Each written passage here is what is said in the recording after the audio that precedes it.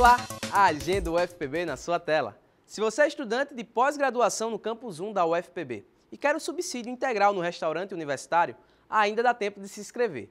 As inscrições foram prorrogadas até o dia 12 de abril e devem ser feitas pelo CIGA. O Departamento de Economia da Universidade Federal da Paraíba abriu inscrições para o Tech Startups.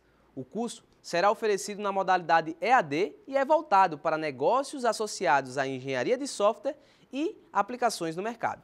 Os interessados devem se inscrever até este domingo no link que aparece aqui na tela. E se você é estudante de Direito ou tem interesse na temática energética, o grupo de pesquisa Dom Quixote está com inscrições abertas para o Seminário Internacional de Direito e Energia Eólica e Solar na Iberoamérica. Você pode se inscrever até o dia 12 de abril pelo Siga Eventos. E a nossa agenda termina aqui. Mais informações nas redes sociais da Ascom e da TV UFPB.